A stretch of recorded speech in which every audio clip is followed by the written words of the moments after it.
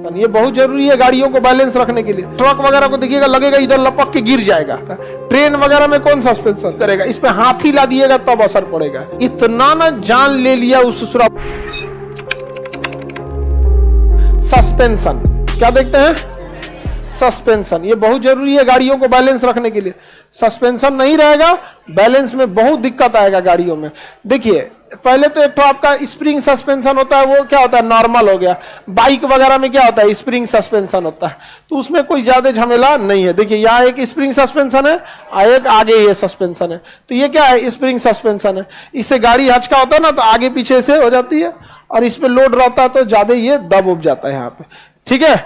ये सड़क पे आने वाले झटके को बर्दाश्त करता है, क्योंकि पहला झटका किस पे लगता है? अगला चक्का पे।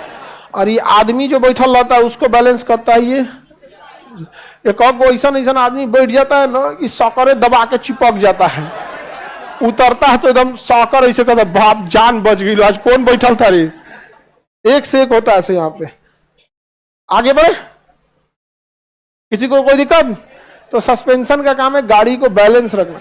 सस्पेंशन बहुत काम करता है गाड़ी बैलेंस करने में। कई बार गाड़ी क्या होती है ना ट्रक वगैरह को देखिएगा, लगेगा, इधर लपक के गिर जाएगा।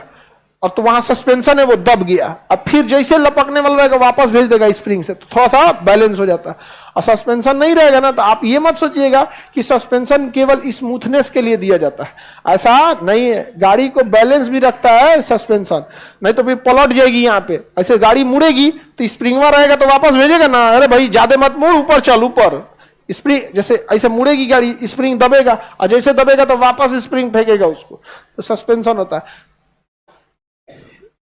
दो टाइप के सस्पेंशन, एक हो गया स्प्रिंग सस्पेंशन ये हो गया स्प्रिंग सस्पेंशन ये अच्छा होता है। स्प्रिंग सस्पेंशन अच्छा होता है। अच्छा इन द सेंस क्या होता है, महँगा भी होता है और जर्किंग ज़्यादा बर्दाश्त कर देता है। ट्रेन वगैरह में कौन सस्पेंशन स्प्रिंग सस्पेंशन देखिए ना, बोगी की मोटका मोटका क्या रहता है? स्प्रिंग रहता है।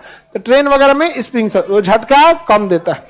लेकिन एक होता है लीफ सस्पेंशन यह बहुत हैवी लोड रोकने के लिए होता है। टन में रोकता है ये। देखे होंगे आप लोग ट्रैक्टर ट्रक में। समझ में आ कि नहीं? ये बड़ी जल्द ये दब्बे नहीं करता है जल्दी। दो तीन आदमी बैठेंगे तो इसको कोई असर नहीं करेगा। इस पे हाथ ही ला दिएगा, तब असर पड़ेगा। यहाँ पे दो तीन आदमी नहीं बैठेगा। तो आप लोगों में कोई ट्रैक्टर के टाली पे बैठा है? ट्राली पे पीछे? अरे, सोचा तो नहीं, जान ले लेता हुआ ढर ढर करके। एक आदमी के बारात में हमारा मन किया कि हम ट्रैक्टर पे से, टाली पे से आएँगे। उस समय हम सेवन या सिक्स में पढ़ते थे।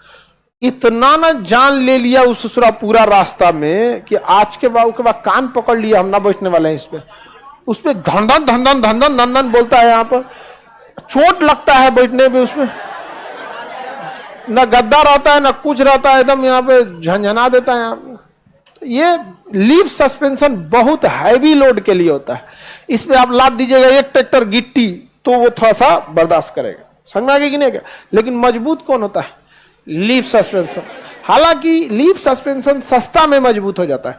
इस ट्रेन वगैरह में देखिएगा तो स्प्रिंग सस्पेंशन लेकिन स्प्रिंग सस्पेंशन काफ़ी कॉस्टली आता है। उसमें क्या होता है? कॉस्टली आता है। उसमें ग्रीस वगैरह प्रॉपर डालते रहना। सोच रहा हूँ इसे देख रहे हैं जंग आ रहा है उसका। लीफ सस्पेंशन में खर, उतना खर्चा नहीं है। हाँ? हाँ। कोई भी सस्पेंशन बनाएगा आपको स्टील का ही बनाना पड़ेगा। लोहा का नहीं बना पाएँगे इसको। मुड़ जाएगा। सस्पेंशन लोहा का बनाएँगे, जी। इलास्टिसिटी होता है। लोहे में इलास्टिसिटी होगा। अब आप बताओ, लोहा का सस्पेंशन बनाएँगे। चपा के चपाइले रह जाएगा। किसका बनाएँगे? स्टील का। आगे बढ़े।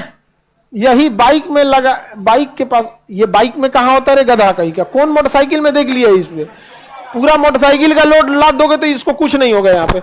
आप इस पे जब आ, मतलब 20-30 बोरा बालू लादते हैं ना तब इसको असर होता है कि हाँ भाई लगता है कुछ लाद रहा है। अब 20 बोरा बालू लाद दीजिएगा बाइक पे ना तो बाइक चलबे नहीं करेगी। वहीं बैठने लग जाएगा वहाँ पे। इस सस्पेंशन समझ में आ गया? कोई दिक्कत नहीं ना? सस्पेंशन में किसी को प्रॉब्लम